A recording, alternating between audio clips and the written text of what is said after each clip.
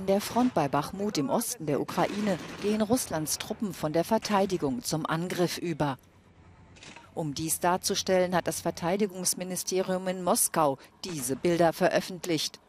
Ukrainische Quellen haben die Information gegenüber Medien bestätigt.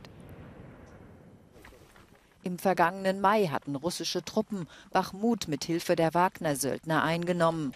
Doch die Armee der Ukraine hatte danach eine Gegenoffensive gestartet. Etwas mehr als eine Autostunde Fahrzeit entfernt im Süden von Bachmut, ebenfalls im Donbass, hatten russische Truppen versucht, die Stadt Avdivka einzukesseln. Seit Wochen offenbar ohne Erfolg, aber unter hohen Verlusten. Kiew meldet 300.000 gefallene russische Soldaten, macht zu den eigenen Toten aber keine Angaben.